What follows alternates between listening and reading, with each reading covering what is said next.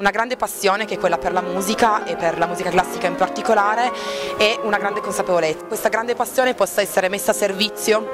per il bene comune, per il bene collettivo e quindi in questo caso per la lotta alla criminalità organizzata e per l'educazione alla cittadinanza attiva. Il concerto di questa serie in particolare vede sul palco un grande pianista, Gabriele Carcano, ex allievo di questo conservatorio, che ha voluto metterci la faccia. È una maniera un po' diversa dal solito, ma sicuramente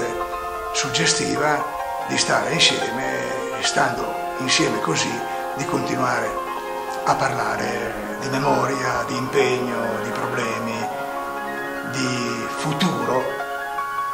tutti quanti insieme da realizzare sempre più incisivamente sul versante della legalità e dell'antimafia. Mi fa piacere, sono onorato e per tante ragioni, perché è la mia città, perché è la prima volta che mi capita di collaborare col libero comunque di cercare di offrire quello che faccio per qualcosa che non è solamente insomma, la mia normale attività concertistica, ecco, ma per un valore sociale in cui credo molto e devo dire che organizzare questa serata così con un'amica che lavora libera, con cui siamo, siamo, vicini da tanti anni nella mia città appunto con la partecipazione del procuratore Caselli è, è, è davvero un'emozione ecco. e spero soprattutto che sia per me e per Libera insomma anche un modo per cercare del, una collaborazione futura insomma, e continuare su questa strada. Io penso che offrire